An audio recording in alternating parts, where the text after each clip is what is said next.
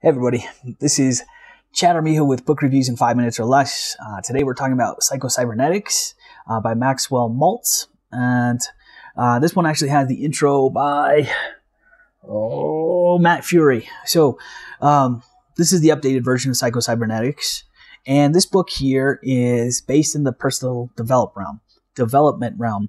Now this book is just as integral to personal development as uh, Think and Grow Rich or um, Science of Getting Rich or Rich Dad Poor Dad, all these these type of books. But this one is more of that uh, historical fashion. This is the kind of go to uh, for a lot of these teachers or these beginner learners. But uh, Psychocybernetics is a really, really great book. If you are into personal development, if you are into um, books on expanding the mind, uh, this is probably one of the best that you can pick up.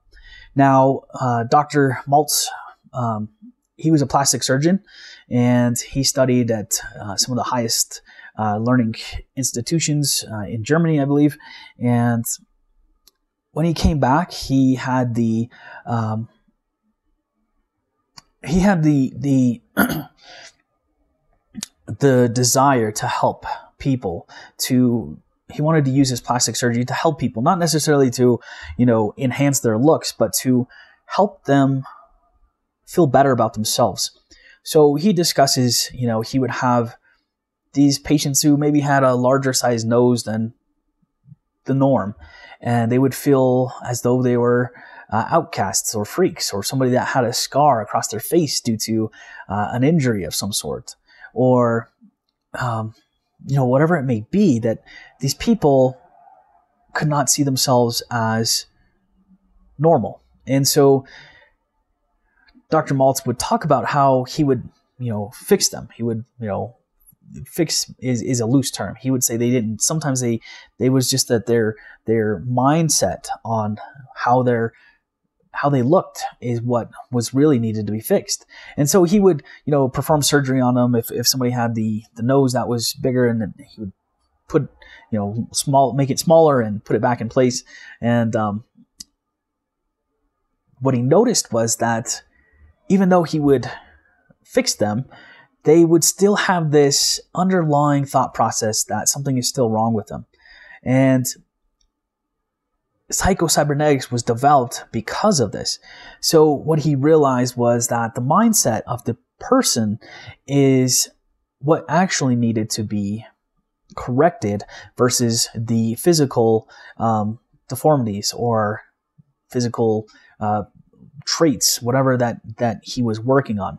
And so psychocybernetics really delves into mindset. It talks about how we perceive the world around us, it talks about how we perceive ourselves, and it talks about how we can step back and put into motion different techniques to to change our mindset so it works for us instead of against us.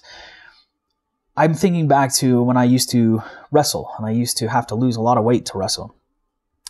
And anybody that maybe suffered from a, a an eating disorder or uh, body dysmorphia, um, any of those type of issues, you know that your mind creates all these different scenarios of of oh, I'm going to be overweight. I I can't be fat here or you know whatever it is we create these things in our mind and so cyber, psychocybernetics is very good about how we can overcome these these uh, mental issues and to really correct ourselves in many different fashions and instill the belief in ourselves that our mindset is what controls the world around us.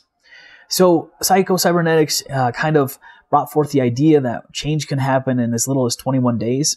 And Maxwell, Dr. Maxwell Maltz also discusses that, but he says it's 21 to 60 days is when he found it. But uh, the average was about 21 days that change took place. So if you are looking for change in your life, if you're looking for um, the ability to enhance your mindset so that you can perform better all around and maybe accomplish or reach for those goals you've never tried before, definitely check out Psycho Cybernetics. And I, I just I've read this book probably three or four times now, and I can't wait to go back and, and read it again. This is Chad Armijo with five minutes or less, and we're getting close to that time. Hit that like button, that subscribe button if you want more, and we will see you on the next one.